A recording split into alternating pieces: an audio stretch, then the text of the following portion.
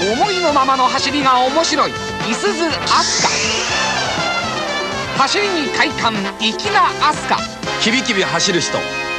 センスいい人。ディーゼルターボも新登場。この切れ味が先鋭のパワーだ。走りに快感粋なアスカバッチリお得。